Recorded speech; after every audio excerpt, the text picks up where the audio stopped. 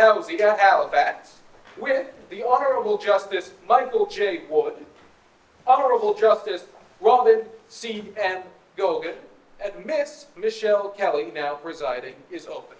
All persons who have anything to do with it, draw near and give your attendance, and ye shall be heard. God save the Dean.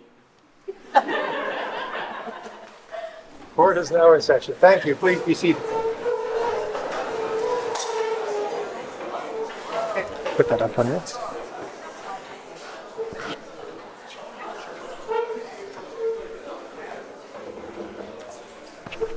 So hi, everyone. Um, welcome, everyone, to the 2024 Smith Shield Moot. This is one of the highlights of the academic year at the Schulich School of Law. The Smith Shield Moot is almost 100 years old, beginning as it did in 1927, and it remains um, the law school's most prestigious mooting event. Um, indeed, previous winners of the Smith Shield have included real legal trailblazers like Justice Bertha Wilson, the first woman to sit on the Supreme Court of Canada, um, as well as other names that might ring a bell to students and guests tonight, including Dean Emeritus William Charles, Dean Emeritus Philip Saunders, Professors Emeriti Bruce Archibald and Wayne MacKay, and Professor Steve Coughlin. Our bench this year is comprised of the Honorable Chief Justice Michael J. Wood, Chief Justice of Nova Scotia, the Honorable Justice Robin Gogan of the Nova Scotia Court of Appeal, and Ms. Michelle Kelly, King's Counsel and First Vice President of the Nova Scotia Barristers Society. Uh, I thank each of them for lending their time, efforts, and talents to this event. We are so grateful for um, their support. Uh, thank you also to Stewart McKelvie for funding the Smith Shield Moot. This year's firm representative is Mr. Rory Rogers, King's Counsel and partner at Stewart McKelvie. I also have to thank um, Professor Suzie Dunn, who unfortunately um, could not be here tonight, but who I know will watch the recording um, as soon as it's online. Uh, Professor Dunn wrote this year's problem and went really above and beyond in uh, helping our mooters prepare for tonight. Um, just uh, on that point, uh, please note that the event is being audio and video recorded and will be posted on the Schulich Law website.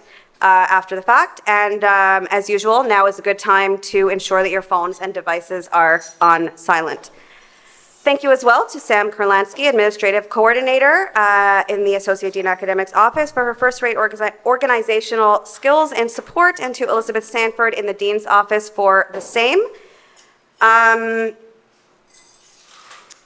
after arguments, the judges will retire to the uh, judges' conference room to deliberate. They will then return and uh, announce the winners. Following that, uh, photos will be taken of the judges and our mooters, and a reception will be held in the faculty lounge on the third floor, and everyone is welcome to attend. And now, without further ado, I will turn things over to the bench and to our truly exceptional mooters. Alex Harrison, Michelle Maxwell, Rachel McMillan, and Anu Sidhu. Enjoy the show, and thank you. Don't think I've had anyone say enjoy the show before a court session started. I must remember that line. All right, good evening, everyone. Welcome to the Supreme Court of Dalhousie. Uh, we're involved in the matter of Derek Chandler as the appellant and Sylvia Vaughn as the respondent. Uh, So counsel, we're ready to hear from the appellants.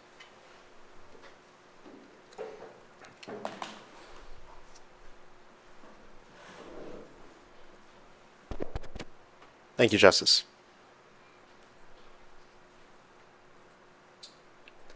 Good evening, Chief Justice Wood, Justice Gogan, and Justice Kelly. My name is Mashel Maxwell, and together with my co-counsel, Alex Harrison, we represent the appellant, Mr. Derek Chandler, in this matter. My friends Rachel McMillan and Anu Sidhu represent the respondent, Ms. Sylvia Vaughn, and there are two main issues in this appeal. The first is whether the respondent can have a reasonable expectation of privacy in sexualized screenshot images taken by the appellant during a live stream that the respondent hosted for 10 strangers from all across the world as part of her highly successful Camgirl business. The appellant submits that she cannot, and accordingly, Justice Awad of the Nova Scotia Supreme Court erred when she concluded otherwise. my submissions today will focus on this issue. The second issue is whether the appellant appropriated the respondent's personality by using some of these screenshots in a book that details his advocacy work against explicit online content, including as it pertains to Ms. Vaughn's business. We submit that Justice Awad was correct in finding that no such appropriation occurred, and my colleague Ms. Harrison will address this point in greater detail. The underlying facts of this case and its procedural history are not in dispute, but are reproduced for you at paragraph 7 to 26 of the appellant's factum. I would be happy to go through them with you, but if that's not necessary, I propose to move directly into argument. Just proceed with argument, that's fine. If we have factual questions, we'll ask you it as your argument unfolds. Certainly. This appeal is about making sure that Nova Scotia's new Intimate Images Act does not extend the long arm of privacy liability to public, for profit, explicit online content, especially when the act is really meant to guard against incursions into one's private sexual life. Accordingly, the act should be construed to prevent transforming the internet from one of the most powerful tools for human connection ever devised into a series of private enclaves. This means finding that a sex worker offering services to the global public via the World Wide Web is someone transacting in public, not someone engaging in fundamentally private activities. It means concluding that the respondent has no reasonable expectation of privacy in her images. As a preliminary matter, I will acknowledge that this appeal is uncharted territory. The Intimate Images Act is a new statute, and this case is the first to ask a Nova Scotia court to interpret the meaning of the phrase reasonable expectation of privacy as it appears there. The act itself creates a tort where a person distributes another's intimate images without consent, and the definition of an intimate image is in section 3F of the act, and that's reproduced for your convenience at paragraph 34 of the appellant's factum. There are essentially two elements in this definition. First, the plaintiff must be depicted in the nude or engaged in sexual activities. All parties agree that this element is met.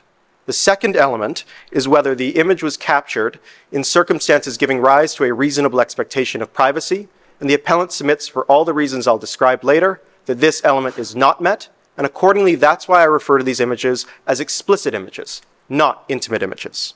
And it is true that the appellant behaved inappropriately when he captured and disseminated these images as part of his advocacy work. But that impropriety does not retroactively create a reasonable expectation of privacy. A contextual consideration of the totality of circumstances operative in this case, as the jurisprudence demands, reveals that none ever existed. And accordingly, I have three submissions for you today, drawing on factors that courts have historically considered essential to this inquiry, which together show you why this is the case. First, the respondent's live stream occurred in a public corner of cyberspace, accessible by the global public and frequented by strangers. None of the meager protection she placed on it does anything to change this fact. Why, This- do you, why do you describe the protections as meager? So I would like to. Uh, I, I can move directly into that, I suppose. So Ms. Vaughn really only has uh, two screening criteria for her uh, for her website. First, individuals must not personally know her, and second, they must not be currently in Nova Scotia. Um, you could be somebody who lives a block away from Ms. Vaughn, go on vacation in PEI, uh, and still be able to access her content. Uh, the website is also publicly searchable. Uh, otherwise, the Clean Screens member from British Columbia wouldn't have been able to access it. Um, and the website itself hosts 50 people, not just 10. Uh, and so Ms. Vaughn really is opening up her windows, uh, to the, use the language of the Milner case cited in my factum, to a nebulous collection of the global public, uh, including strangers from Uruguay and Uganda. The website also grows via globalized word of mouth advertising uh, as uh, individuals uh, communicate about Ms. Vaughn's services. She also removes users who are not uh, active. And we don't know how often Ms. Vaughn removes individuals, but Ms. Vaughn's business functions on tips. Uh, so she has an incentive to really remove anybody who is not actively engaging with her content. Um, and then when the website itself starts, when she clicks begin on a live stream, uh, she's not selective about the 10 individuals who enter the site, just the first 10 to appear. Uh, and I would like to bring you to paragraph 55 of my factum. Uh, and in particular, the case of R.V. Hughes. Uh, in that case, there were protections on a website. Uh, it encountered, there was a firewall, first of all. You had to download a specialized program called BitTorrent to access it. You also had to have some tech savviness to access this uh, portion of the dark web because its purpose was sharing uh, illegal images. And yet, the court said that uh, because the purpose of the website was sharing explicit content with strangers, with some segment of the public, uh, no reasonable expectation of privacy arose. And I think it's important to note that not only are the protections greater in the Hughes case, Hughes is a criminal case. It deals with Section 8. It deals with uh, protecting individual privacy from incursions of the state, which is a heightened inquiry than when ordinary individuals are, uh, are intruding on your privacy. And yet, the court concluded that no reasonable expectation of privacy existed. Um, Can so, I just ask you though, Mr. Maxwell? So I, I read the Hughes case, and that is very helpful your, to your position. But uh, your the opposite side, the respondents have highlighted the Griffin and Sullivan case, and that's also a case where there were limits placed on the website. In that case, it wasn't 50 members that could be participatory and 10 at a time. It was 50 to 100 regular users and 500 infrequent users. And that case found that those protections were enough to put it in the private sphere instead of the public sphere. So, so how do you rationalize that civil case as opposed to the criminal case that you've just highlighted for us? So, uh, as I've said, this an analytical framework is contextual. You're looking at all the factors. You're looking uh, at place, uh, and you're also looking at the nature of the information being shared. So, in the Griffin case, what was being shared was personal mental health information. Uh, and that's to be contrasted with the information being shared in this case, which is commercial sexual performance imagery. Uh, and to that point, I think it would be useful to take you to actually my, my second submission, uh, which is at paragraph 68 to 73 of the appellant's factum. Um, so it's very clear, uh, the Supreme Court has said a number of times, including in Cole, that the uh, more personal and intimate the information, uh, the greater the privacy interest. And while I agree with my friend that sexual information generally falls in this biographical core, uh, it's important to remember context as well. So I particularly uh, remind you of the Aerie case, a 2023 British Columbia Court of Appeals civil decision, where uh, what was at stake was ordinarily anodyne information, ordinarily uh, something like names, addresses, but because these, uh, uh, these things were shared with the purpose of targeting justice system employees, it became confidential. It became intimate. And so the opposite is also clearly true, where somebody shares information in a way that indicates publicity, regardless of whether that information is sexual in nature, uh, a reasonable expectation of privacy cannot attach. And that's exactly what we see in the Milner case, which is a 2005 decision from the British Columbia Supreme Court. Uh, and in Milner, what was at issue was uh, an individual in their home opened up their uh, curtains, and uh, an insurance investigator was able to observe the goings on there. Ordinarily, we have an incredibly high privacy interest in our home. It's one of the highest interests protected by law. But because this person, uh, the context of sharing was opening these, uh, opening these curtains, uh, the reasonable expectation of privacy was lost. Um, does that answer your question, Justice? The, uh, I have a question as well. I hope that he answered yours. Um, So the reasonable expectation of privacy, it seems to me, and if I, if I don't state the law correctly, you- you let me know. Um, It starts with the proposition that you need the person to have a subjective expectation of privacy as a starting point, and that subjective expectation has to be objectively reasonable. Do you agree that that's what is meant by a reasonable expectation of privacy? Uh, I would say in the criminal context, that's traditionally how it's been Okay, So how, interpreted. does- do you think it's different in this statute? I think that um, there, there has not been a, a, a substantial body of law here. I think that a subjective expectation of privacy is necessary but insufficient. Um, I think that the totality of the circumstances have to show whether the uh, reasonable expectation of privacy is, uh, Okay. is So objectively did Ms. Vaughn have a subjective expectation of privacy in this? Ms. Vaughn uh, may have had a subjective expectation of privacy, uh, but our submission is that Ms. Vaughn did not take the steps necessary to render this expectation objectively reasonable. Uh, and simply, Ms. Vaughn is, is a performer.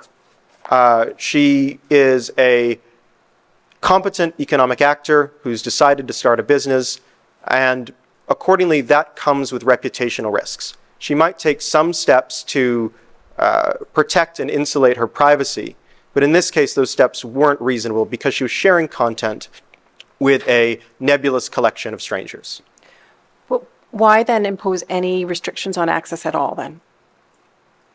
Uh, I, I think potentially uh, Ms. Vaughn's uh, decision to restrict access is something that I can't necessarily speak to, but uh, it's, it's a good business strategy to, uh, to keep the, the nature or the number of individuals smaller. And I'm, I'm not saying that Ms. Vaughn is taking no steps to protect her privacy. She was clearly concerned about individuals that she knew seeing her images. But in this circumstances, they're not objectively reasonable. And I think it might be useful to bring you to paragraphs 51 and 52 of the appellant's factum, uh, where I deal with the, the cases of Zaloni and Truong. So uh, Zaloni is a 2021 Manitoba Court of Queen's Bench civil decision, and Truong is a 2021 uh, Alberta Court of Queen's Bench criminal decision. Uh, Zaloni deals with observation in a uh, condominium entry hallway, and um, Truong deals with recordings made in a uh, hotel hallway. And in both cases, uh, this was a circumstance where people have some privacy expectation. You know, there are some people who are barred from entering a hotel hallway. But in both cases, the respective courts concluded that these spaces do not have a reasonable expectation of privacy. And that's because they're open to this highly variable uh, segment of individuals. And it's not the fact that, you know, everybody in the world can observe you in a space that renders it uh, public. It's the fact that a segment of the public, which is, uh, you know, significantly large or significantly variable, can access the space, can um, observe you.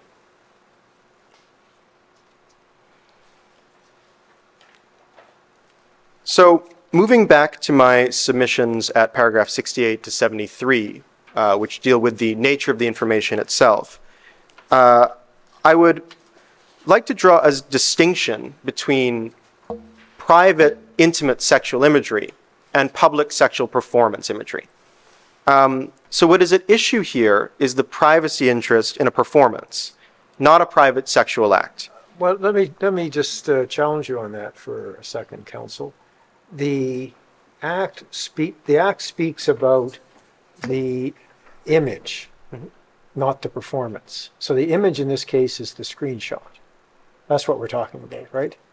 So the issue isn't whether she had a privacy expectation in her performance. The issue is whether she had a privacy expectation in the screenshot that was prepared, right? So, the language of the act uh, is that the image is taken in circumstances giving rise to a reasonable expectation of privacy. Reasonable expectation of privacy in respect of the image. In respect of the image, yes. So but she that, had to be expecting that the image, which we now are describing as a screenshot, um, would be private. So why don't, with all the protection she has about you're not allowed to record, you have to sign and agree to the terms, doesn't that send a pretty clear message that she expected there to be no screenshots, and if someone took a screenshot, that that information was expected to be private? So that, that's clearly her subjective expectation. Isn't that objectively reasonable, given the information on the website? No, I, I would submit that it's not. Um, so I would direct you to the um, Silber and BCTV case, uh, which I can find the, the reference for you here. Um, at paragraphs 57 to 59 is where I deal with it. So, yes, I concede that Mr. Chandler breached the terms and rules of, uh, of Ms. Vaughn's website. Uh, and to sort of address your earlier point, uh, yes, ultimately the privacy expectation is in the image, but that's informed by the circumstances in which it's captured. Um, and, and, and that's uh, something that we see, for example, in, in the Jarvis case. But uh, bring you to paragraphs 57 to 59, uh, the fact that the appellant violated the rules of a space uh, does not on its own create the reasonable expectation of privacy. So in Silber, the plaintiff explicitly said to a news crew that they were not allowed to enter his property, they were not allowed to record, uh, and they were not allowed to film the, the labor dispute there. He did it anyway, and uh, later disseminated those recordings. And there was no reasonable expectation of privacy in those recordings because they were taken uh, in a space that the public could observe, just like the website. Well, again, Mr. Maxwell, like I, I don't like your characterization of that because the public can't observe it. You have to be uh, granted permission to observe it twice. Once as the as the qualifying 50 people that she puts on the list, and then I do take your point. It's a correct one that that then you have to be one of the first 10 people to sign in. And so I don't understand how you get around the fact that this isn't a, a public space. It, it is a private space. And I, I'd like to give you a hypothetical. Um, we have these cases that have been cited in your factum and the respondent's factum about intimate images that are shared amongst partners, sexual partners. And then there's a breakup and, and the image goes further. In this case, isn't it alike to the fact that Ms. Vaughn had 10 sexual partners that night. She shared an image of herself with 10 sexual partners and then they disseminated it further. Like, isn't that the exact same thing we're talking about here? Uh, so I, I would push back on, on that. Um, to your first point, um, this is somewhat identical to the street in Milner and the uh, parking lot in Silber. The fact is that Ms. Vaughn is not particularly selective about the 50 people she lets into the website. There are, you know, in this sort of small uh, suburban shopping center, probably a, a similar number of people. Same with the uh, suburban street in, uh, in Milner. Uh, and with respect to Ms. Vaughn having 10 sexual partners, I would like to bring you to paragraph 60 to 67 of the appellant's factum. Um, the fact is that Ms. Vaughn is not in a relationship of trust and confidentiality akin to the kind of relationships that we traditionally see in the non consensual disclosure jurisprudence. Uh, I'd first bring up the case of Her Majesty and TA, uh, which stands for the proposition that where information is shared in, uh, in circumstances where uh, there's a relationship of trust and confidentiality, that points towards a reasonable expectation of privacy. And when it's shared with strangers, that points away from a reasonable expectation of privacy. And that's exactly what Ms. Vaughn is doing. She's sharing her content with a collection of internet strangers uh, who access her website, and it's not reasonable for her to expect them to keep it close to the vest. Um, and I'd also like to uh, say that this is the, the kind of thing uh, these relationships of trust and confidentiality, that is, they're the kinds of relationships that this act is really meant to protect. So, directing you to the, uh, the Roke and Peters case, the Manitoba Court of Queen's Bench decision, uh, and the Shillington case, that, those courts really hit home that uh, what the violation was in this case was this breach of a close relationship of trust and confidentiality. And I don't uh, submit, as my, my friend characterizes it, that these relationships of trust and confidentiality can only subsist in intimate relationships. Uh, just that the relationship must be one of trust and confidentiality. And the fact is that Ms. Vaughn's relationship with her patrons is one of commerce and estrangement. Uh, more similar to the Milton case, the 1988 British Columbia Supreme Court decision, where an individual shared uh, an intimate image with a drugstore clerk and accordingly lost the reasonable expectation of privacy. I see that I'm running low on time, so I just uh, rely on the remainder of my factum uh, for the balance of my submissions, and I will move to conclude. To sum up, the contextual factors at play in this case show that the respondent has no reasonable expectation of privacy in her images. She chose to operate a public facing business on the internet using a website that was accessible by most of the world.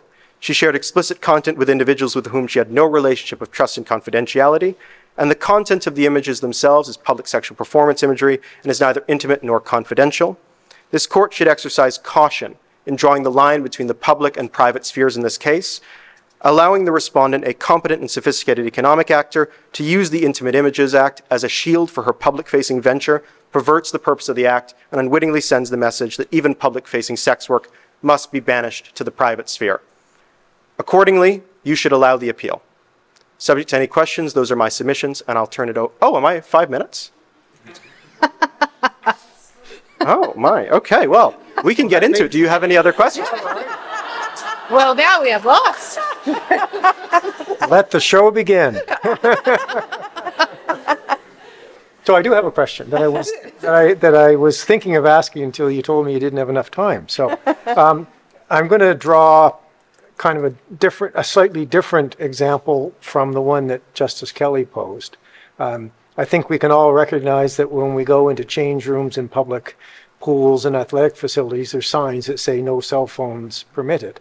And there's people there in various stages of undress, including in the, in the family change rooms, kids of all genders and ages. Um, if someone were to take, contrary to the rules, a cell phone image in a change room where someone is exposing themselves to all sorts of strangers who, and they're comfortable doing that in the circumstances, uh, does that person who takes the image with their cell phone and then distributes it, do they run afoul of this, of this legislation? Uh, certainly they do. That would be a case of voyeurism, which is firmly. But would they also be con, would it also be contrary to this legislation? Certainly, it, it would be. But So what's be- the difference between the example I gave you and the example and the factual situation we're dealing with here, where she, uh, Ms. Vaughn, did undress or expose herself to, to strangers, but she was happy to do that on the condition that they didn't record it or use it for any other purpose? So I, I think the. Uh, that's a good question, and I think the distinction here is that what you have in this public pool scenario uh, is this essentially private enclave, uh, a change room where uh, you know you you are with strangers, but with a uh, where everybody's undressed, everybody uh, sort of agrees that this is a a space where individuals uh, aren't recording, versus the internet, which is sort of the wild west here.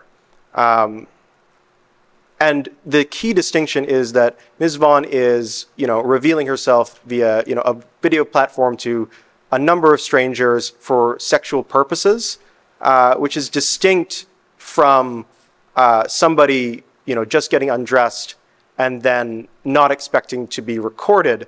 Uh, so I think the distinction to be drawn is between the voyeurism issue and between uh, willingly sharing explicit content with strangers.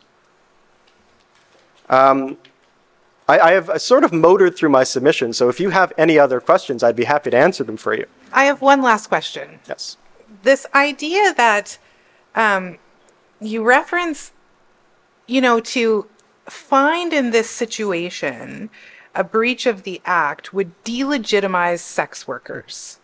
Why would it delegitimize sex workers?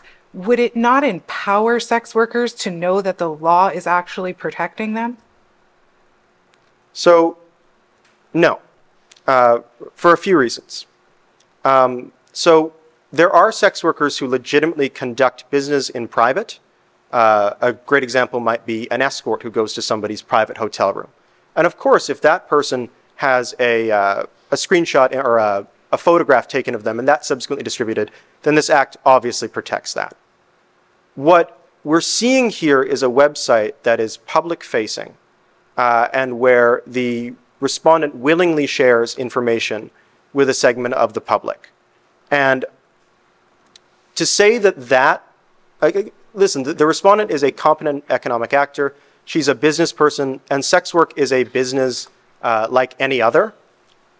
And to say that where that transaction occurs in public and it's sexual, there's this uh, privacy interest that uh, attaches, is really saying that this business is not like other businesses. It's one where special protections attach. And that suggests that even where sex work is something that occurs in a public facing venue, uh, it's, uh, it's confined to this private sphere. And uh, to my point where I, I draw on Chehil in uh, paragraphs uh, 68 to 73 of my factum, where uh, I'm saying that what's being recorded are the details of a transaction occurring in public. And my friend submits that this is fundamentally different because uh, in Chehil it was airline information rather than sexual information. I think the fact is that sex work is work, um, commerce is commerce. It doesn't matter if the commercial information is sexual rather than uh, dealing with uh, airline information. Uh, and to draw that distinction is to say that this kind of work can only occur in the private realm. Uh, so, subject to any more questions, those are my submissions. I encourage this court to allow the appeal with caution, and I'll turn it over to my co-counsel, Ms. Harrison. Thank you very much.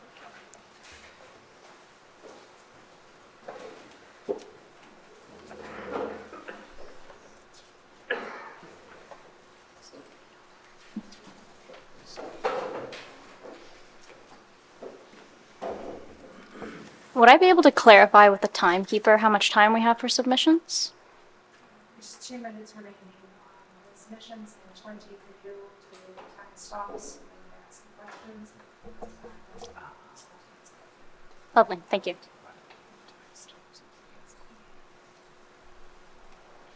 Good evening, Chief Justice Wood, Justice Kelly, Justice Gogan. As my co-counsel mentioned, I will be speaking to the issue of appropriation of personality and whether or not the Supreme Court of Nova Scotia erred in finding that the appellant, Mr. Chandler, did not wrongfully appropriate the personality of the respondent, Ms. Vaughn. The tort of appropriation of personality is about the proprietary interest in personality. The tort protects an individual's exclusive right to market their personality for commercial gain and provides recourse only when an unauthorized commercial use of personality amounts to an exploitation. However, this individual proprietary right is not absolute. It must be balanced against the public interest. Since this tort was first recognized in 1973, the courts have continuously noted the obvious dangers of overextending it. Placing severe limits on the use of personality has the potential to stifle contributions to cultural enrichment, to curb public debate of social issues, and to dilute content available for public consumption. All of this is to say that at a certain point, giving too much weight to the individual un- unduly infringes against the public interest in the freedom of expression. At its core, this appeal requires the court to determine if the circumstances of the, this case present strong policy And reasons. your counsel, um, when you talk about freedom of expression, you're talking about your client's freedom of expression, correct? In the context of this case, Correct, Justice Wood, my okay. client's freedom of expression. as opposed to Ms. Vaughn's freedom of expression. Correct. Is her freedom of expression infringed by the actions of your client? The appellant would submit that Ms. Vaughn's freedom of expression is definitely involved and engaged by my client's actions, but we submit that it is not infringed the way that the general public freedom of expression would be infringed in allowing this appeal. More specifically, this court must determine if the appellant's use of the respondent's personality, featuring her name and image on the cover of a book which features a short chapter related to her, is the kind of use that this tort is aimed at guarding against. The appellant submits that a finding of appropriation of personality in this case would shift the balance of rights too far toward the individual. The three elements of the tort are set out at paragraph 82 of the appellant's factum. My friend and I are in agreement that the facts of the case satisfy the first two elements of the tort. As such, my submissions will be focused on the issue of commercial gain and how failure on this element moves the appellant's use of the respondent's personality outside of the ambit of the tort. To make this determination, I will first establish that the respondent is a person of public interest, and I will then address how the respondent's use of, of or how the use of the respondent's personality one fell into a protected category of use, and two how it was for a charitable purpose. I will now move to my first submission, focused on how the respondent was a person of public interest. The respondent unquestionably holds some status as a person of public interest. This is predicated on her strong virtual presence online as a result of her live streaming business. Does that description apply to anyone with an online presence?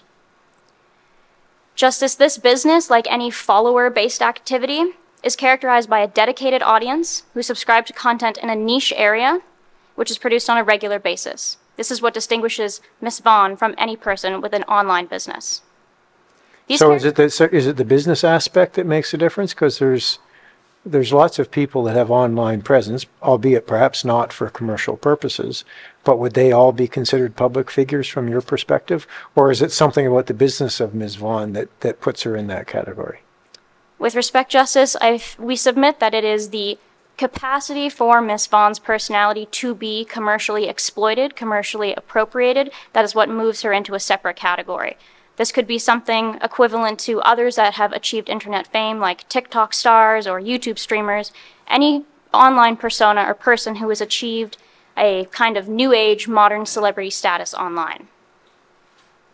Miss Vaughn But isn't it like uh, I'm just thinking, you know, like her whole um, raison d'être was that she didn't want anyone in Nova Scotia to even know she was doing this. So, so does that affect your submission in any way? That like she put up barriers to try and make it so that no one in Nova Scotia knew that this was happening. I feel my co-counsel has adequately addressed how Miss Vaughn's community is the entirety of the online global web. And with respect, Justice, there's nothing on the facts to categorize Miss Vaughn as, exclu- as excluding a large audience in totality. There's nothing to suggest how often the respondent was live streaming sessions, how many months or years she'd been doing this for, or even how many of her viewers in each session were non-returning viewers. There's nothing to establish the kind of relationship she had with her clients. My there- friend, uh, Sorry, uh, counsel, but there is certainly evidence uh, in the record that, that clearly establishes that she intended to have restrictions on the number of viewers. And she carefully crafted her um, website in order to protect or, or to restrict access. Even though anybody searching the web could potentially find her, not everybody could access or view, and even those that could view had to agree to the restrictions that she was setting out. Justice, again, I would refer to my co-counsel's argument where he established that those requirements really created a subjective view of privacy in Miss Vaughn's personality, and, or in, excuse me, in Miss Vaughn's uh, performance or imagery. But I, I think it's important to remember that that expectation of privacy and those requirements don't necessarily negate the fact that she was a person of public interest who had achieved this kind of internet fame. She's clearly engaged in an online activity through which she has achieved this fame, so much so that she has been able to achieve a full time job through this live streaming business. This fame that she's created through her business extends to her both personally as Sylvia Vaughn and as a professional sex worker. As an individual, she is interesting because of the air of mystery she creates during her live stream. Her viewers know nothing about her except what she chooses to share during those live streams. They may not know what she sounds like, they don't know where she who she is or where she's from, anything of those biographical core details about her. Plus, the fact that subscribers are restricted to consuming her sexually explicit content at specific times and exclusively online adds this level of secrecy to her as an individual. People are inherently curious about sex, and they're curious about Miss Vaughn as an individual. And on that point, I'd like to direct you to paragraph 104 and 105 of the appellant factum, where, I, where we draw comparisons to the cases of Gould Estate and Stoddart Publishing Co. and Wiseau and Harper. In both of these cases, the plaintiffs were a person of public interest who had achieved a fame in a niche content area with a dedicated audience. They produce content like Miss Vaughn on a regular basis. In Gould Estate, there was a cl- uh, classical pianist who was famous and featured in a book. I will discuss this in more detail later. And in Wiseau, there was an actor, producer, star of a cult following film, The Room. Both of these individuals had garnered an intense amount of fame and were interesting as individuals. The respondent is also interesting as a worker because of the very fact that she is engaged in sex work. Sex work is a topic that attracts a lot of public debate and discussion because of the range of differing opinions. It's top of mind and something that attracts general public interest, and the respondent is a representation of that profession. I will now move to my second submission, focused on how the appellant's use falls into a protected category. The decision in the Gould Estate case I just mentioned, which is a 1996 case from the Ontario Court of Justice, is very instructive on this topic. It was the first time that the court drew an explicit distinction between the types of use of personality. The court created one category where a personality is used without being the focus of the work. It's used incidentally to the primary purpose, and the work itself is not genuinely related to the individual. The court also created a second category where the personality is used because it is the focus of the work. The court held that works under this category were to be considered protected uses of personality because the manner of the use was in the public interest. The court explained that the scope of this category included subject matter that extended beyond what was just considered newsworthy and also captured content that was factual, historical, educational, and even entertaining and amusing. The appellant submits that Mr. Chandler's use of the respondent's personality on the cover and within the book falls into this category. First, the updated book cover was used to depict or illustrate the general profession of sex work, a topic which we have submitted is in the public interest because of the debate that surrounds it. The appellant used the respondent's image and name in a very illustrative way, a very clever way, to represent the profession on the cover of the book. He deliberately chose to use a black box, a symbol that is synonymous with censorship and explicit content, to cover the sensitive regions of Miss Vaughn's body. He accomplished this representation in a very tasteful way. Why did he need to show her face? Couldn't he, couldn't he have uh, made the same point by, but also make it anonymous so people couldn't identify her? Yes, Justice, there is the possibility that our client could have included her image on the cover without displaying her face, but the cover of the book also served a secondary purpose of connecting the appellant's discussion of the sexually explicit visual content online in his chapter, which was his personal discussion of his interaction with Miss Vaughn. My friend would liken that use of the respondent's image to a commercial prop. With respect, we submit that this is more akin to a visual aid. It guides the reader to the fact that the book included content both about sexually explicit vis- visual material that's found online and particular details about the respondent, whom we have submitted as a person of public interest. It's in this sense that it serves a dual function. And I would be okay with that if there was more on the cover of the book. And you've brought us to the Gould case, and, and in that case, did the whole decision not hinge on the fact that the cover of the book outlined exactly what was happening? This was a biography of this pianist. I think he was a pianist. Um, thank you. um, and not an autobiography. Whereas in this case, the appellant put Ms. Vaughn's photo and Ms. Vaughn's name and nothing else on the cover of that book. So, how do you distinguish that? And how can you say that this illustration was clever in the sense that it was just pointing the reader to this chapter in the book? Wasn't it saying the whole book was about Ms. Vaughn? With respect, Justice, I don't think that that is the message that's communicated to the consumer.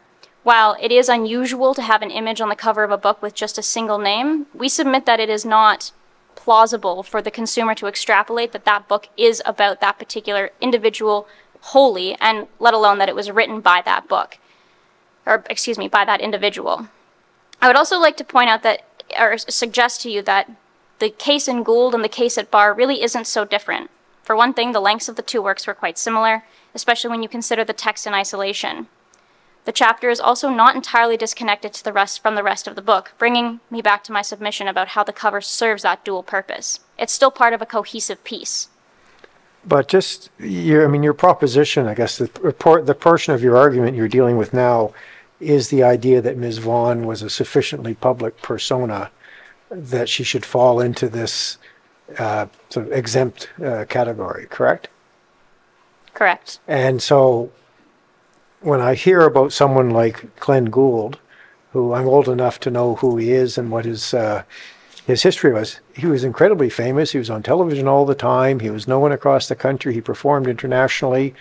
I mean, his individual exposure to the public at large, what seems to me was quite a bit greater than whatever exposure Ms. Vaughn had. She had the tool of the internet, which made it theoretically possible that more people could hear about her, but with the limits we've already talked about, 50 members in total, 10 at a time, uh, I wouldn't put her public exposure, in my mind at least, anywhere near the same category as someone like Glenn Gould or even an actor in a film. So, where is the line? When does someone's presence, particularly on the internet, cross from being private to being sufficiently public that they've lost any right to control what happens to their image? With respect, Justice, I don't think it's fair to categorize the Glenn Gould case and the case at bar in the same way. And I think it is important to illustrate and highlight that difference between the fact that Glenn Gould didn't have the benefit of the inter- internet and Miss Vaughn does. It's a key element on the facts and a key component to our argument here. The fact that she was conducting her business online is what moves her past that threshold. Okay, so let's ask the internet question, which I asked you at the end, which is where does someone's, what's the line? How do we determine when someone who has an online presence of any type crosses from being a private person to one whose persona can be used uh, for commercial purposes by anybody?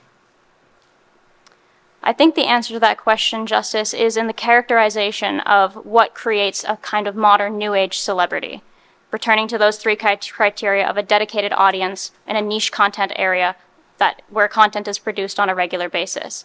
It is that existence of a public interest. It is not relevant to this issue the scale of that public interest. It is the existence of the interest in Miss Vaughn, both as that individual and as a representation of the profession of sex work, that moves her over that threshold. I'd like to direct you to paragraphs 100 and 101 of the appellant's factum, where a comparison is drawn to the case of Krouse and Chrysler Canada, a 1973 Ontario Court of Appeal case, where the respondent was a professional football player featured in an advertisement for a product called the Spotter. The ad showed an action shot of Krouse and demonstrated how the spotter was used to identify players by jersey number. It could be focused on a player in the game, and using a spinning roster of names and numbers, they could be identified. In this case, the court held that the use of the image was for an illustrative purpose, in this case, to illustrate a professional game of football, and it, that it did not amount to wrongful appropriation. The court held that the purpose of using this image was not to draw attention to a particular individual player, but rather to depict the game of football and the usefulness of the spotter. I would like to draw your particular attention to the fact that Mr. Krouse in this image, like Miss Vaughn on the cover of our book, is identifiable by name and an identifying feature, which is the number, which we submit is equivalent to the face of a sex worker. The facts of this case are similar in other ways too. Like Krouse, the respondent is identify, excuse me, as I mentioned, the respondent is identifiable by name and image on the cover of the book. But the purpose of using this image was not to draw attention to a, the particular individual sex worker alone, but rather to, in tandem, depict the explicit content that emerges from the profession of sex work. It is also critical for this court to remember the totality of the appellant's use of the respondent's personality, and not to consider the two uses on the cover and the chapter in isolation. These two uses must be considered together. I'd now like to turn to a chapter uh, discussion of the purpose of the chapter of the book, which was to provide an anecdotal example of the appellant's firsthand experience with Miss Vaughn. The content of the book was focused on Miss Vaughn. Uh, excuse me, the content of the chapter was focused on Miss Vaughn, who we have submitted as a person of public interest. I've already drawn your attention to two instances where the courts have ruled works like these ought to be protected by public interest, works that are focused on a particular individual. In Gould, as I mentioned, the defendant had authored a 26 page book that had immortalized Gould using photos and interview materials he'd collected many years earlier. And that cover of the book featured a photo of Mr. Gould performing. In the end, the court held that that book fell into the protected category of uses because there was a public interest in learning more about a Canadian musician. The facts here are similar. The appellant has authored a short chapter that provides insight to the respondent and her profession. The cover of the book features her image. We submit, therefore, that the appellant's book ought to fall into the protected category of uses because there is a similar public interest in learning more about the profession of sex work and about Sylvia Vaughn as an individual. What's the public interest in learning more about her as an individual? I understand the interest in learning more about sex work, but what's the interest in learning more about her? Justice, the interest in learning more about Miss Vaughn as an individual is based in this air of mystery that she creates. Again, I would direct your attention to Wiseau at paragraph 105, where the film and the individual both acquired a cult like following and a cult like popularity. The court in this, in this case held that the documentary created by the defendant that was explaining the public interest in Mr. Wiseau and the creation of his film was beyond the scope of the tort because the public interest in the mysterious man behind its creation raised it past that threshold. Similarly, a key element of the appellant's chapter related to the, respond- related to the respondent is to delve into the mystery and the intrigue that surrounds the persona of Sylvia Vaughn. But is that fair? I mean, isn't the whole purpose of the book to say, let's not let people do this? Like, did I miss that? But isn't it like that this guy wants to get out there that we should shut down these types of sites so that our youth and people aren't, uh, you know, uh, unnecessarily exposed to them or exposed to them at all. Like, like, am I not getting what the book was intended to do? With respect, Justice, the fact that it draws public interest to Miss Sylvia Vaughn does not matter if it is a positive acc- accolade of her work or if it's a critique. The fact is that, that there is public interest in her as an individual, learning more about what it is that she did, no matter the perspective of the consumer, and learning more about the profession of sex work, again, no matter the perspective of the consumer. But that goes back to, you know, um, Chief Justice's question earlier about then why do you need to use her face and her name? Again, with respect, Justice, I would I would draw you to the dual purpose that the book cover serves, and that while there is public interest in her as an individual, which is why her face is featured on the book, and at the same time because she illustrates the profession of sex work.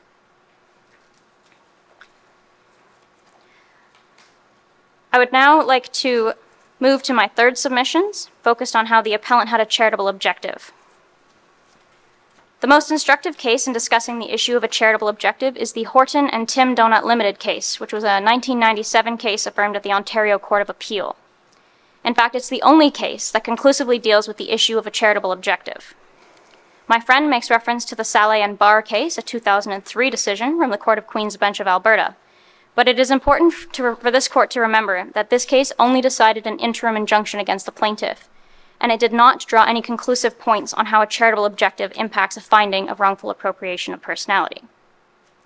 Returning to Horton, set out at paragraph 111 of the appellant's factum, it is fortunate that a clear parallel can be drawn between the facts of that case and the case at bar. In order to make that comparison, I'll briefly set out the facts of Horton. The case involved a portrait of the famous hockey player, actually the fourth in a series, which was commissioned to be displayed in his stores. The portrait featured an image of Tim Horton, a blurb about his hockey career, and another blurb about his legacy. It was decided that this portrait would also be reproduced as poster prints, and that the proceeds from this sale would be directed to the Children's Foundation, which was a registered charity. It's imperative to point out that there was nothing on the posters that indicated this charitable intent to the consumer. As I mentioned, the facts in Horton are almost completely analogous to the case at bar. The appellant included an image of the respondent, albeit with her name, and he authored a short chapter that described aspects of her career and her life. Is Clean Screen a registered charity? Justice, it is not a registered charity, but the Well, Isn't that a distinguishing factor?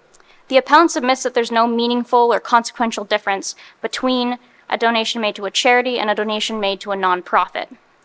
Both To a efforts, nonprofit advocacy group. It was in fact a nonprofit ad- So, advocacy so group. someone, whatever their cause may be, good or bad, people have different opinions about advocacy groups. Any advocacy group would be entitled to use any person's image as, uh, for fundraising purposes and not run afoul of this tort. The Is that, is that what you're saying? The appellant submits that any advocacy group that's aimed at making a positive contribution in their community and bringing light to issues that affect individuals would not run afoul of But sometimes that's a matter of perspective and opinion.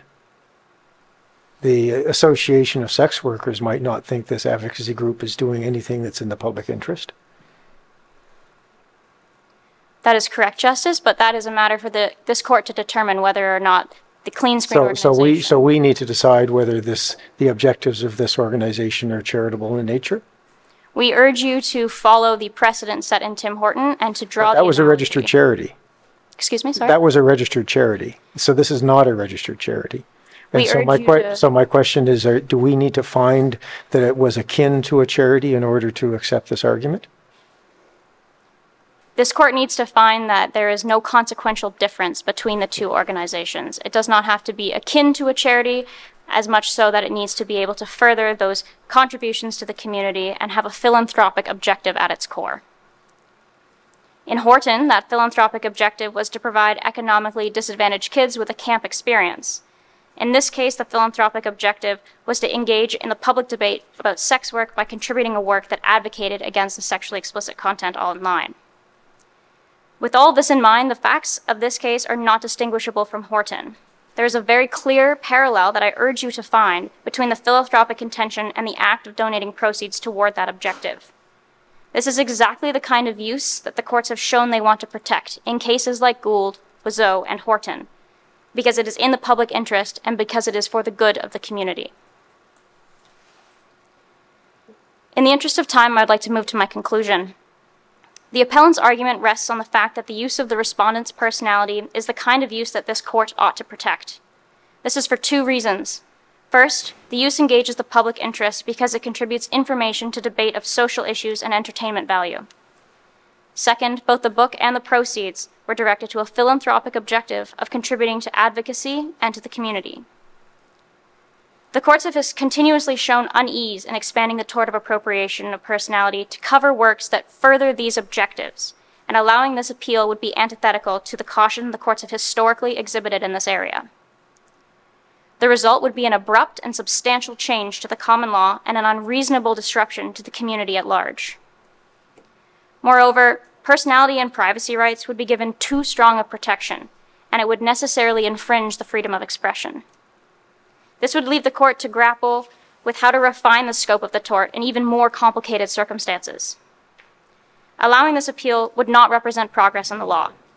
In fact, it would disaccord with the protection of freedom of expression and radically restrict the kinds of contributions that incorporate any aspect of personality. In short, it would undermine the public interest use of personality, it would obscure the purpose of the tort, and it would not reflect an incremental change in the law. For these reasons, the court should dismiss the appeal. Thank you very much, Ms. Harrison. All right, we're ready to hear from the respondents. Good evening, Justices. As a small preliminary matter, and with your permission, I'm wondering if we could ask the timekeeper to run the time through the questions that we receive, if you have any this evening. Thank you. Good evening, Chief Justice Wood, Justice Gogan, and Justice Kelly. My name is Rachel McMillan, and I'm appearing on behalf of the respondent, Ms. Sylvia Vaughn, along with my co-counsel, Anu Sidhu. Ms. Sidhu will be addressing the issue of whether or not Mr. Chandler is liable for the tort of appropriation of personality. And I will be focusing my submissions on whether or not Ms. Vaughn had a reasonable expectation of privacy over her live streamed image. This issue makes plain what is at stake in this case, and that is the ability of women and all individuals to control who sees their body and who can be privy to their sexual expression. This case is also the court's first meaningful opportunity to interpret the Intimate Images and Cyber Protection Act, or the ACT as I will refer to it. The Act creates a statutory cause of action for victims of the non consensual distribution of intimate images. And it is not in dispute in this case that Mr. Chandler used deception to gain access to Ms. Vaughn's images.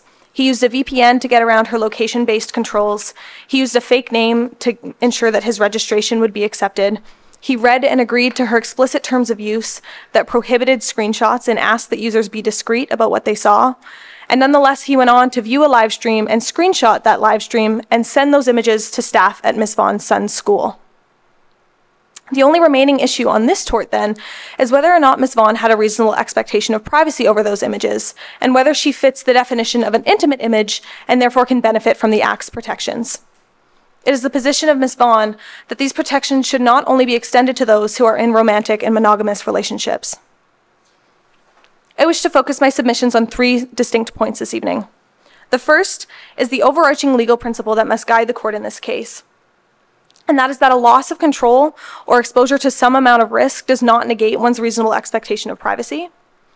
Second, I will focus on the location in which Ms. Vaughn appeared and describe how her website was a private space on the internet.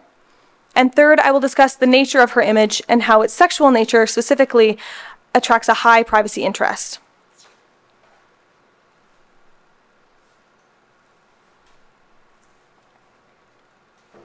I begin with the overarching principle that must guide the court in this case, and these uh, arguments can be found at paragraphs 41 to 45 of the respondent's factum. This principle says that a loss of complete control or an exposure to some risk does not negate one's reasonable expectation of privacy. I will keep my submissions on this point relatively brief. Canadian jurisprudence has consistently found that privacy is not an all or nothing concept. A person's willingness to be observed by some people does not waive their right to privacy. A person may appear in public where they can be observed by any number of others, but they retain a reasonable expectation that they will not be recorded by others in that space. Similarly, a person may lose some control over their Doesn't it image. depend on the space? It certainly does depend on the space. Someone's walking down the street, isn't it? Is it a reasonable expectation that you will not be recorded walking down a public street? It certainly does depend on the space, and one of the key factors that I'll be discussing in my second submission is, is the location. Um, in a case like Jarvis, in a school where many people are recorded and um, s- security cameras are all around, it was still found that the um, victim in that case maintained a reasonable expectation of privacy. But I will be discussing the location in which Ms. Vaughn was recorded Okay. uh, quite extensively further on in my submissions. All right, thank you. Can, uh, will you also be addressing at some point in your submissions, um, the fact that she was commercializing the, dis- even in part, the dissemination of her images? I don't touch on, on that point in any great detail in my submissions this evening, and I would answer that question by noting that the Act does not distinguish between folks who share images for commercial gain and those who do it for the benefit of a romantic partner. And we would submit that that's not a relevant factor in the analysis of a reasonable expectation of privacy. So a person may lose some uh, control over their image by texting a photo of themselves to a friend, and they retain a reasonable expectation of privacy that that same image won't end up in the hands of a neighbor, a coworker, or on the front page of a newspaper. And this is especially true in the context of intimate and sexual images. The Nova Scotia legislature has made it clear through Section 4, Sub 2 of the Act that an individual's reasonable expectation of privacy is retained regardless of whether they share that image with others. This provision does not place a limit on the number of people who that image can be shared with before the reasonable expectation of privacy is lost. And nor should it. The question remains whether the people, no matter how many who received it, knew or ought reasonably to have known that that image was to remain private. If appearing in sexualized images serve to waive an individual's reasonable expectation of privacy, privacy could only be found in those images over which somebody maintained complete control. And this, the consequence of this would be to send a message to women that they must maintain, they must keep their bodies completely concealed in order to maintain that privacy right. This would echo some of the victim blaming narratives that this court has been trying so actively to get out of our judicial decision making.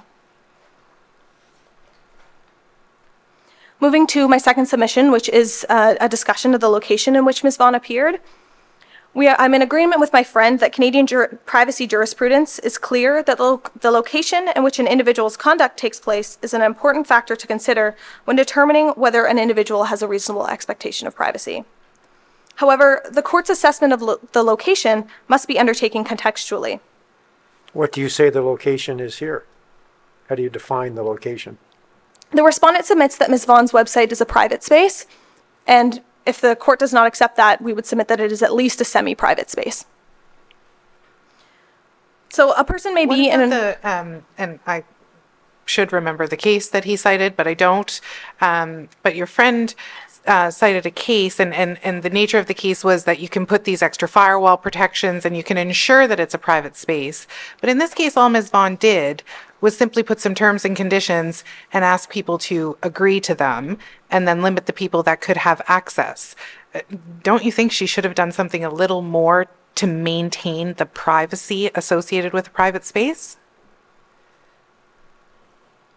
respectfully, Justice, we would dispute the characterization that she only did those two things. Um, not only did she have privacy-based location, uh, or sorry, location-based privacy measures to prevent people from her community from seeing her content, she personally vetted each applicant to make sure that she didn't have a personal connection with them.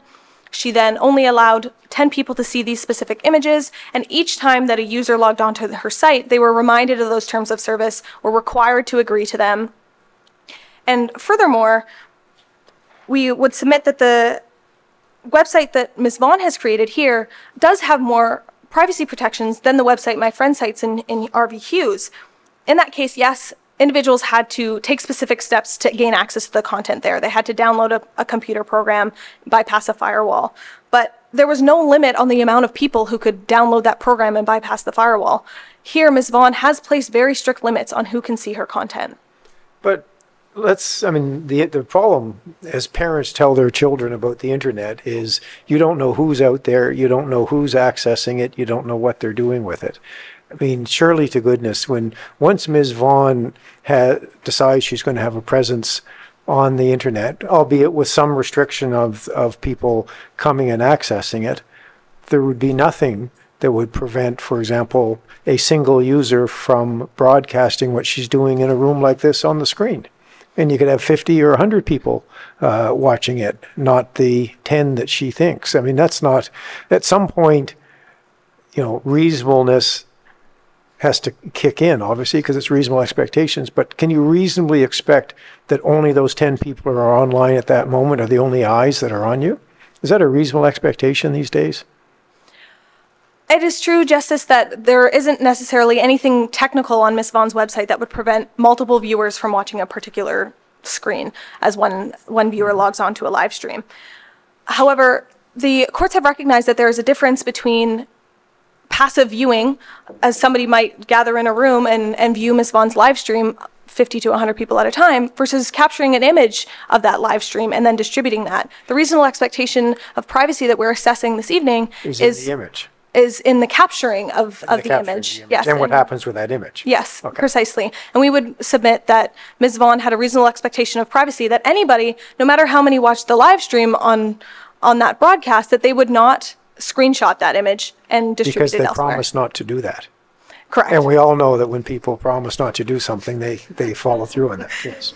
It is true, Justice. There are there are bad actors on on the internet. We cannot deny that. However, we would submit that they should not be setting the standard for what a reasonable expectation of privacy is.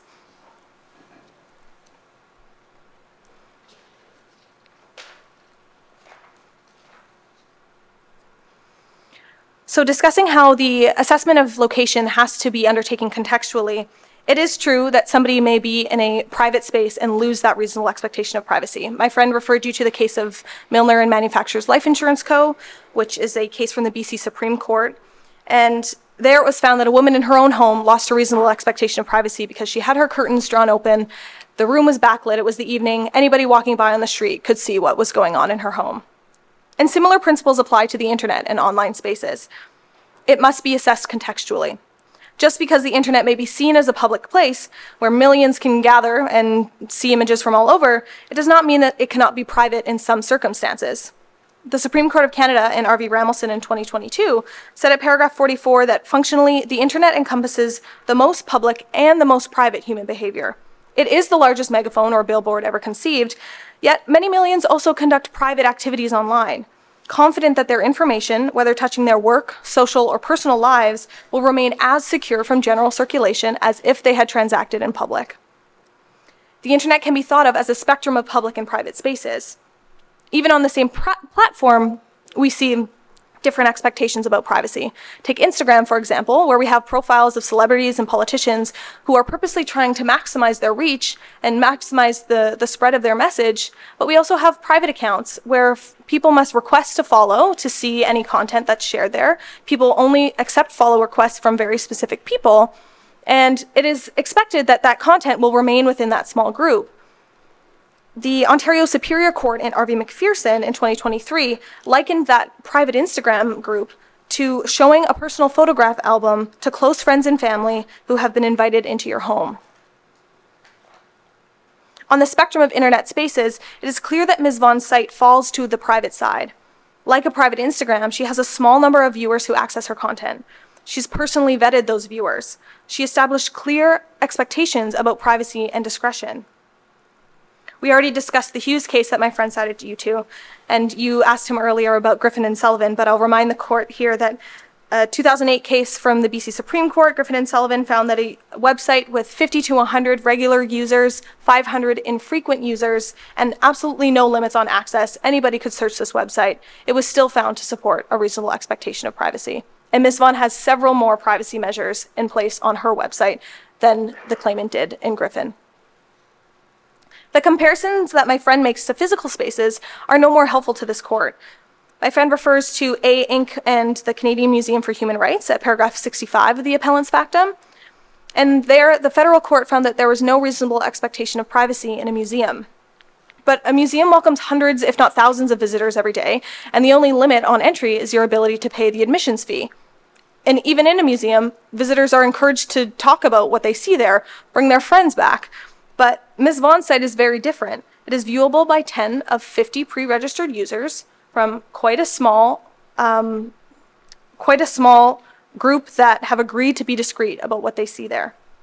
Does it make a difference that the, at least there's an argument that her, her privacy interest is a commercial interest as opposed to an interest in her personal autonomy and, and, and sort of privacy in the, in, in that sense? Um, because you, in most of the cases, maybe all of the cases under this uh, sort of legislation across the country, the um the concern is almost invariably intimate partners where there's been a breakup and, and the information is shared. And, uh, and so it's a very, very closely held personal interest that's violated in those situations. Here, there's an argument to be made that what she's really upset for is the commercial harm coming from people getting free uh, screenshots of her uh, when they ought to come in as a member and presumably tip. So that that's the na- that's the privacy interest that's that's of concern here, at least arguably. Is there? Do you see a difference between those situations in terms of the legislation? Thank you, Justice. I do see a difference there, especially in Ms. Vaughn's case. It's clear that she enacted certain privacy measures with a very specific goal in mind, and that is keeping people from her community from seeing these images. As opposed to the commercial, Yes, you know, precisely. financial thing that I had suggested. Uh, precisely. I would say that this this is about excluding certain people from seeing her body, certainly people from her own community in Nova Scotia, but beyond that, excluding anybody who wouldn't agree to her specific terms of use. It is true that she is sharing images of her body with some people for commercial gain, but that does not mean that she doesn't have a, an interest in keeping her body private from the rest of the world. Mm-hmm. So, Take- so that argument, it seems to me, you would say it doesn't matter. Even if her interests were to be commercial in nature, she's still entitled to expect it to be private. That's correct, Justice. that would be the that's what I respondent's submission. Yeah. So you're saying that she's entitled to do with her, do with that material what she wishes because it belongs to her? That's correct. Yes.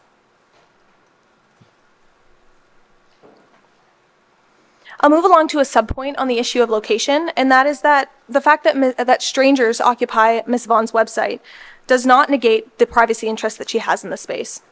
Canadian courts have found a reasonable expectation of privacy in spaces occupied by strangers. Griffin is one such example.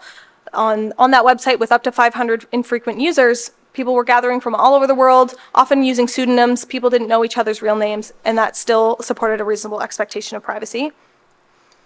And the law simply does not require that the relevant parties be in some sort of committed relationship to maintain a reasonable expectation of privacy.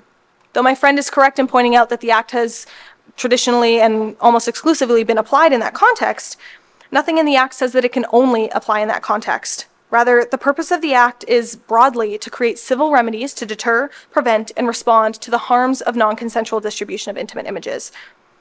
According to the Minister of Justice, it is a tool for victims driven by victims. Individuals in trusting relationships are not the only ones who can be victimized by non consensual distribution. The Act explicitly aims to protect people who are victimized while expressing their sexuality, and it doesn't dis- distinguish between those who do so for commercial gain, as we discussed, those who do so with multiple casual partners, and those who do so in the context of a monogamous relationship. Furthermore, the respondent would urge this court not to discount the efforts that Ms. Vaughn has made to establish some sort of a relationship with her patrons. She set out her expectations clearly, and people go to sites like Ms. Vaughn's as opposed to consuming other pornography content that's available on the internet because they want some sort of interaction with the content producer that they're that they're witnessing. Moving to my third submission, which begins at paragraph 69 of the respondent's factum, I submit that Ms. Vaughn's images support a high privacy interest because they are sexual in nature. At paragraph 68 of the appellant's factum, Mr. Chandler describes the images he distributed of Ms. Vaughn as containing merely details of transactions. And respectfully, such a description of the images in this case is not tenable. Ms. Vaughn's images are completely unlike the transactional information claimed to be private in RV Chehil, a 2009 case from the Nova Scotia Court of Appeal. What do you say about um, Mr. Maxwell's comments about he, he'd made this differentiation of um, explicit images versus intimate images? Um, and, and I heard your submissions on kind of the, the trust and confidence piece, but is he not, does he not have some foundation in saying that? That, um, given she was exposing herself to strangers, even if it was a limited number of strangers, the images captured would be explicit images of Ms. Vaughn, but not necessarily intimate images of Ms. Vaughn because of the audience that she was exposing herself to. Do you agree with that? With respect, Justice, my, my friend has no choice but to call it an explicit image because to call it an intimate image, which is defined in the Act, would mean that she has a reasonable expectation of privacy over those images. Because of the location, because of the sexual nature of these images, and because of several other factors, we would submit that it is properly described as an intimate image and meets the definition of intimate image in the Act. Returning to to Chehil, the information at issue in that case was a traveler's name, the number of bags they were checking on a flight, and all of that information they had just previously given to a desk agent. That information did not reveal anything private about Mr. Chehil's life, and that is not the case about Ms. Vaughn's images.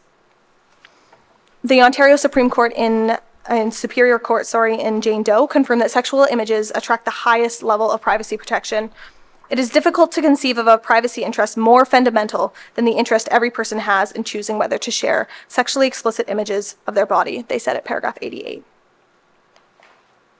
And to be clear, describing these images as being intimate and sexual in nature, and thus ascribing a high privacy interest to them, is not to say that sexual activity is shameful. It simply speaks to the importance an individual must, has in maintaining control over who has access to this information. While some sex workers may choose to conduct their work in a more pu- public setting, others may choose to conduct it in private, and it is perfectly legitimate for them to do so. Seeing that my time is coming to a close, I'll now um, conclude my submissions by saying that I urge this court to interpret the act in such a manner that does not deny women who choose to share their sexuality with select people on a private platform justice and compensation when their images are taken outside that relationship without their consent. I urge this court to uphold Justice Awad's decision that Ms. Vaughn did have a reasonable expectation of privacy. Otherwise, this court risks setting the threshold too high for anyone expressing their sexuality outside the confines of a monogamous relationship. Thank you. Thank you.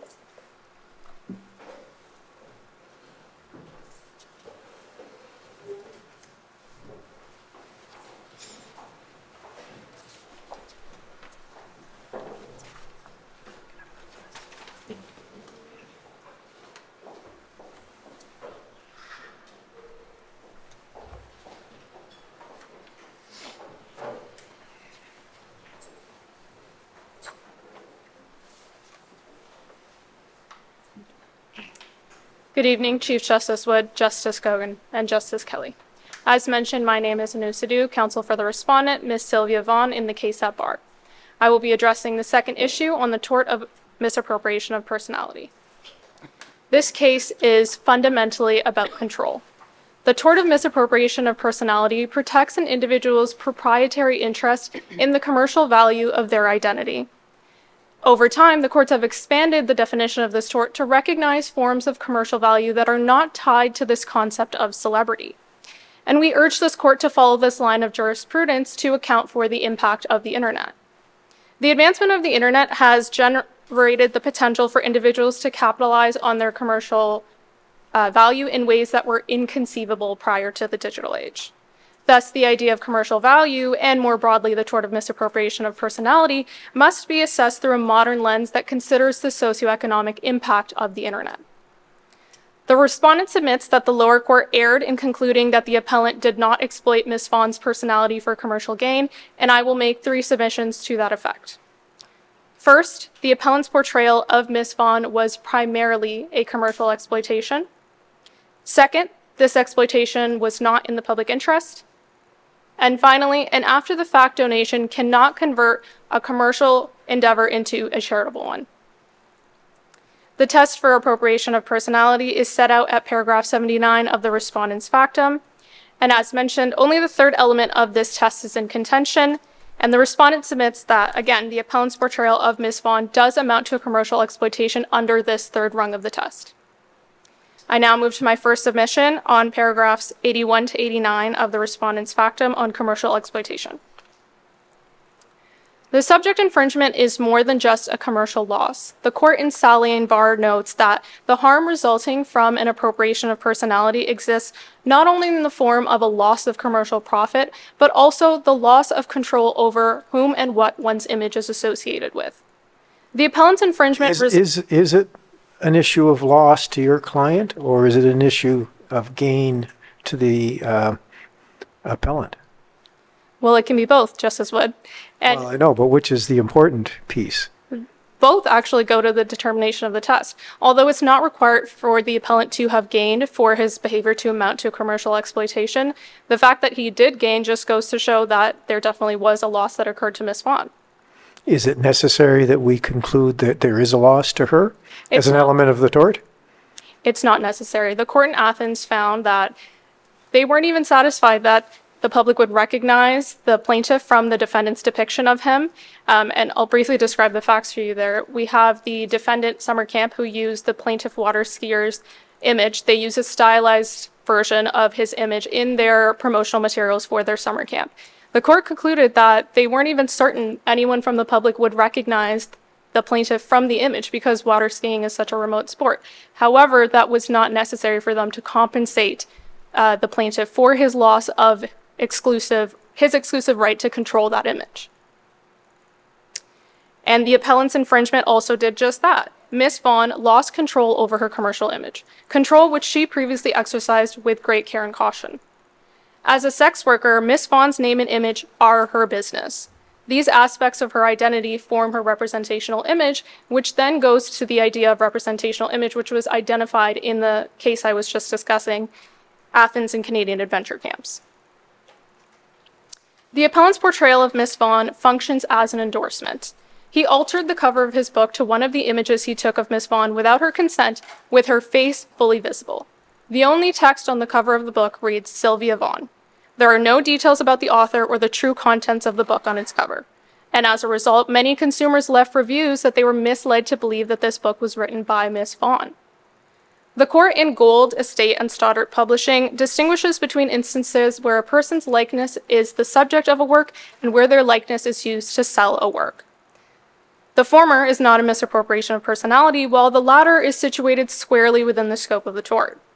The appellant's portrayal of Miss Vaughn does not convey the subject matter of the book. Instead, it uses her as a commercial prop.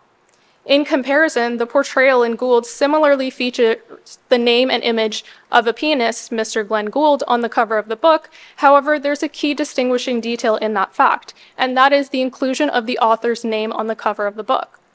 Now, this seemingly innocuous detail makes a world of a difference in the mind of a consumer when it comes to association and marketing, which then goes to the determinative issue of commercial exploitation.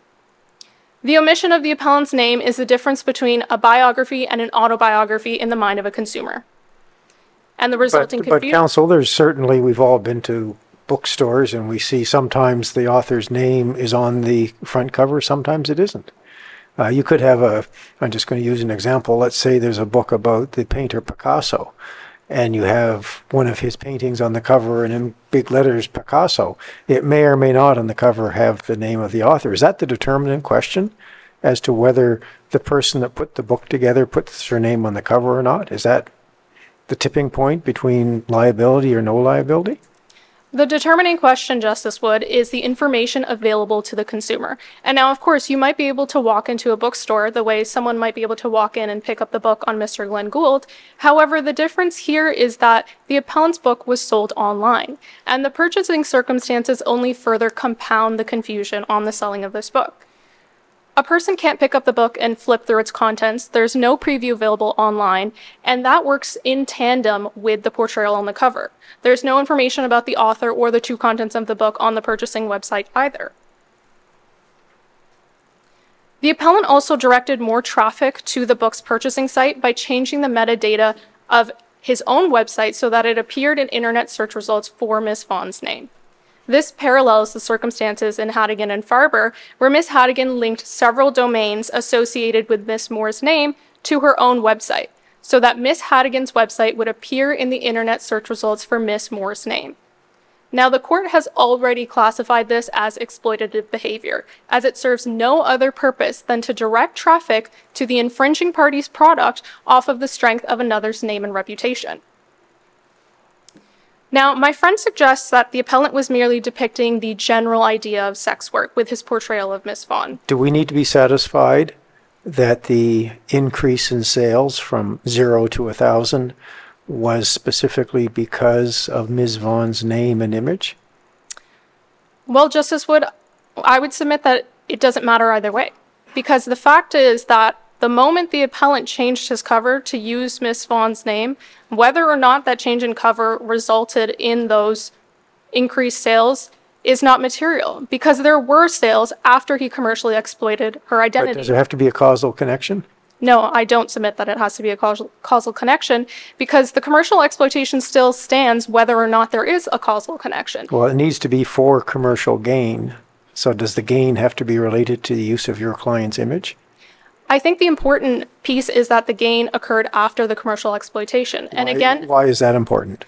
That's important because I would again refer to the quote that I referenced in the beginning from Saleh and Barr, where the key piece here about about the tort of misappropriation of personality is that we are looking for not just a loss of commercial profit, but a loss of control. So whether or not the link there's a causal link between the portrayal and the and the sales is not necessarily material because a loss of control existed at the time where the appellant gained those sales.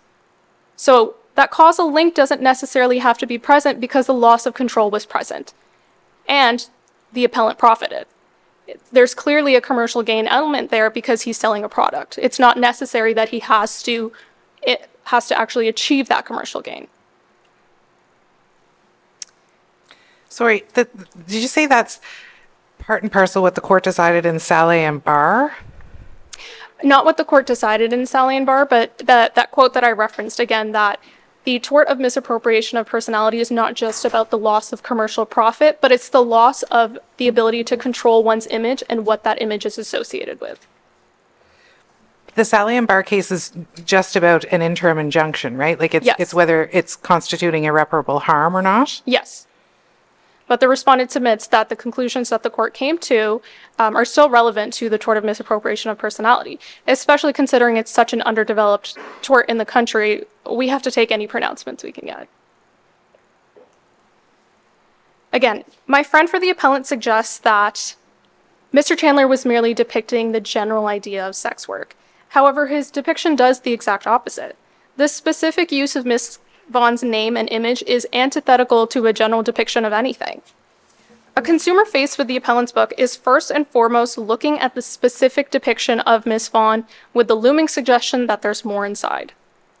On the other hand, in Krouse and Chrysler Canada, the defendant's depiction of Mr. Krouse was accepted as a general depiction of the game of football. However, that case is distinguishable because Mr. Krouse was one of three football players in that image taken during a live football game. His face wasn't visible and he wasn't purposely centered or singled out in any way. In fact, the court describes Mr. Krouse as unidentifiable in that photo. The photo was also located on a spotter, which is an advertising tool released by Chrysler to connect their branding to the game of football, which then also provides additional context to the consumer. In the present case, there's no additional context or visual to decenter Miss Vaughn on the cover of the appellant's book. I now move to my second submission that the appellant's appropriation of Ms. Vaughn's personality was not done in the public interest, which is located at paragraphs 90 to 111 of the respondent's factum. The public does not necessarily have a valid interest in every person whose identity carries commercial value. The courts in Wiseau and Gould have recognized that the public does have a valid interest in celebrities, but the existence of commercial value is not dependent on this idea of celebrity. In Hay and Platinum Equities, the court found that the plaintiff accountant's reputation had been appropriated without any requirement of celebrity. Similarly, Miss Vaughn's identity carries commercial value, but that doesn't mean that there's a valid public interest in knowing more about her, as she is a deliberately private individual. The court in Wiseau Studio and Harper offers some more guidance on what a sanctioned portrayal of a celebrity might look like. However, the facts there differ significantly from the present case. Mr. Wiseau is a well recognized producer and actor from his film The Room. Mr. Wiseau stepped into the public eye by starring in his film, attending movie premieres, and award shows. Yet he was shrouded in this air of mystery when it came to maybe some more personal details about his life and how he produced the film. However, the distinguishing fact between Wiseau and the case at bar is that Mr. Wiseau relied on publicity and public interest to then hold the public at an arm's length to create this sense of mystery. Ms. Vaughn, on the other hand, is not a celebrity by any means. She caps her customer base to 50 pre approved members at a time, restricts who can access her website, and she does not market herself or her services. This is not a person who relies on the public interest to create an air of mystery. Instead, this is a person who sought out and existed in relative obscurity until the appellant shared details of her work. But there's a, there's a public facing portion of her website, or else people couldn't even find it in the first instance and, and request the opportunity to be members, right? Well, Justice Wood, the public facing portion of her website is simply a landing page. You can't access any of her content. You can't even necessarily glean what kind of a website there must it be, is. I mean, maybe it's, I don't know whether it's in the materials uh, before the court below, but there must be something to cause people to understand what they're applying to be a member of, correct? Of course, Justice And it Wood. must have her name on it. Yeah, and the, the answer to that question further bolsters the respondent's argument. Most of the most of Miss Vaughn's customers are repeat and returning customers, and any new customers come through word of mouth, which further goes to show how much Miss Vaughn was not marketing herself or her services. How do we know it was word of mouth? Is that, is that, was that decided by the court below? Yes, that was decided in the Okay. facts. The court in Krouse states that exposure is the lifeblood of professional sport. Professional athletes rely on publicity for ticket sales, merchandising, and endorsements, but the same cannot be said for Miss Vaughn's profession. Instead, control over one's image and likeness is the lifeblood of sex work, and that control is precisely what the subject infringement denied Miss Vaughn of. My friend raises fair concerns about limiting free speech, and the respondent recognizes the danger of extending the tort too far and encroaching on free expression. However, that is not a live issue in the case at bar. The appellant's portrayal of Miss Vaughn is not a contribution to the public discourse that warrants protection. The court in Wiseau recognizes that the common law should be consistent with charter values, and in this case, we must consider the values of free expression, which includes democratic discourse and participation in community, the pursuit of truth, individual self fulfillment, and human flourishing. However, these are not the principles that are promoted by authorizing the appellant's portrayal of Miss Vaughn. The appellant exposed private details about Miss Vaughn and then went on to use the resulting attention to commercially exploit her likeness. This is not an example of participation in the community, the pursuit of truth, or human flourishing.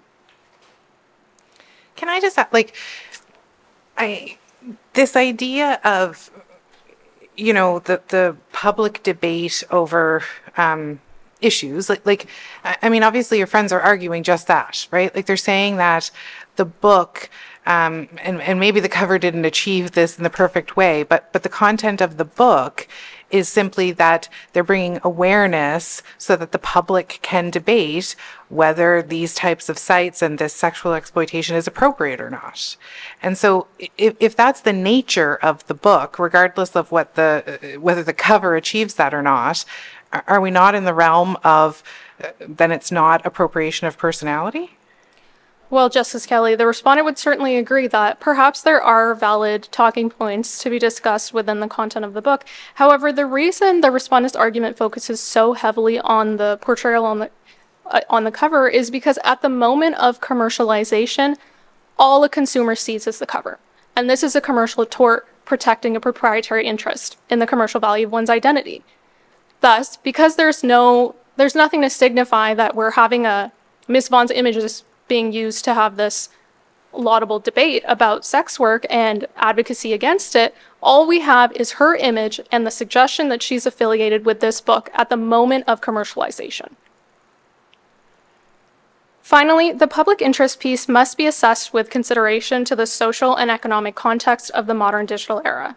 The advancement of the internet has exponentially increased the commercial potential of the average person's identity. As a result, many have turned to the internet as a legitimate way to make a living. However, it does not follow that everyone who uses the internet to conduct business is now a person of public interest. Running a business on the internet does carry the risk of unwanted publicity, but Ms. Vaughn's screening of her clients, customer limit, and lack of marketing has significantly mitigated that risk. Considering the reach of the internet and the billions that use it, 50 pre approved members is a relatively modest customer base. I now move to my final submission that an after the fact donation cannot convert a commercial endeavor into a charitable one, and this is located at paragraphs 112 to 119 of the respondent's factum. My friend relies on the decision in Horton and Tim Donut Limited to argue that the appellant had a charitable cause, and thus the subject infringement can be tolerated. However, no such comparison can be drawn from Horton because its facts render it incomparable to the present situation. The court found that Mr. Horton had long since given the Tim Donut franchise license to exploit his commercial his personality commercially. Further, the Tim Horton Foundation had previously commissioned four posthumous portraits of Mr. Horton without objection from Mr. Horton's estate. That context could not be further from the starting point in the present case. Miss Vaughn is far from a household name and actively avoided putting her commercial endeavors in the spotlight. Further, the appellant and clean screens are separate and commercially distinct entities, and the appellant's book is not obviously a fundraiser for clean screen. Thus, the starting presumption is that the appellant's earnings are his own, and there's no information that goes on to rebut this presumption. There is nothing, there's no information within the book or on the book's purchasing site that suggests this is a charitable endeavor. And as a result, there's nothing stopping from the appellant from keeping future proceeds of the book. But the evidence is he hasn't. So as we sit here today, the evidence is he's given it to this uh, not-for-profit organization and had always intended to do that. That's true, Justice Wood. However, we would So it's speculation as to whether he might do something different in the future, is it not? The respondent would refute the characterization that he always intended to because there's no way to to attest to that. He did donate Well, let's just deal with the fact that he always has done it. Sure. Of course, Justice Wood, we can accept that the the appellant did uh, in fact donate the proceeds of his book to charity. However, the reason that I raised this issue of his potential profits in the future is to highlight the fact that there is nothing stopping the appellant or preventing him from going on to keep the future proceeds. And I raise that hypothetical because at the point of purchase, the consumer does not know about Mr. Chandler's advocacy, they don't know about Clean Screen, and they don't know that this book is affiliated to either one. Thus, at the moment of commercialization, this book functions as a commercial endeavor, and an after the fact donation cannot transform it into a charitable one, regardless of the appellant's intention. I see I'm coming up on the end of my time here. May I request a brief indulgence to conclude? Certainly. The assertion that anyone who puts themselves on the internet in one form or, or another is fair game for commercial exploitation under the guise of public interest is untenable. The court must be alive to the impact that digital ubiquity has on one's commercial personality. This case offers the court to assist in the incremental evolution of the tort of misappropriation of personality in the face of the unique challenges presented in a digital age. Thus, the respondent respectfully requests that the court overturn the lower court's decision with respect to this issue and find that the appellant did appropriate Ms. Vaughn's personality. Barring any further questions, this concludes the respondent's submissions. Thank you, Ms. Sidhu. So that completes both the appellant's submissions and the respondents. Um, The appellants do have an opportunity, if they wish to take it, for a brief reply. Uh, the appellants don't wish to reply. All right, thank you very much. So counsel, you've done a, a fine job. The panel is going to adjourn, I'm going to say for 15 minutes, and we'll come back and hopefully uh, have some answers for you.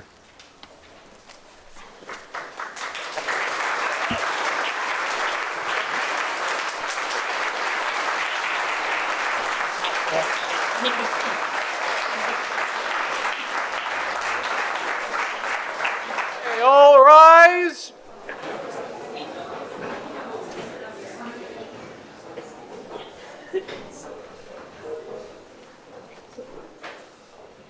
Thank you, please be seated.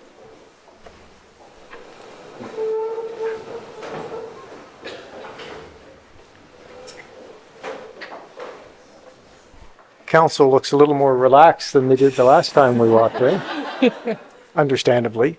Um, Well, I don't think it will be a surprise to anyone in the room uh, that we found the quality of the advocacy uh, amongst all four of you exceptional. Uh, I think one of the phrases that one of the panel members used was varying degrees of very good was the you know and and we have to pick between them. So that's uh, that's a challenge. But uh, congratulations to all of you. It was uh, an exceptional job from beginning to end. So you should be very proud of your accomplishments.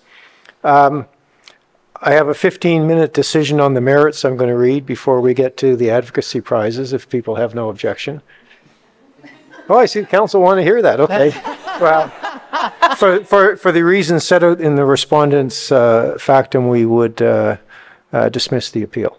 How's that for a decision? anyway, it was. Uh, this is much less about the merits and and more so about the um, the advocacy. So there's two prizes awarded for tonight. Um, the A.S. Pattillo Prize in Advocacy, which is to the two top mooters, and the Leonard A. Kitz Prize in Advocacy. And I'm going to start with the Leonard A. Kitz Prize because it's near and dear to my heart because that's the one I got when I was in the Smith Shield. so I think that's actually the more prestigious prize myself. I noticed that wasn't mentioned in the list of luminaries their, their participation. Um, and so, so the Leonard A. Kitz Prize um, uh, this year is going to go to Michelle Maxwell and Alex Harrison. So congratulations. Join the club.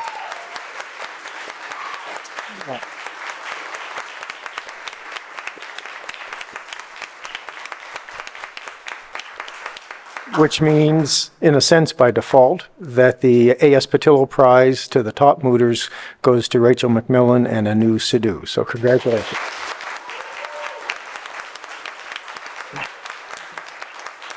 And it was not an easy decision, I have to say, because everybody, everybody did so well. So, so thank you all for your efforts. And uh, I guess now it's time for some photos and, uh, and a little reception. So, and thanks to the audience for coming out. It's, it's a big deal for everyone. It's nice to have the support of family and friends. And it's, uh, for those of you that are students, it's good to see the top mooters so you know what to, uh, what the standard is to try and achieve. So thank you all for coming tonight.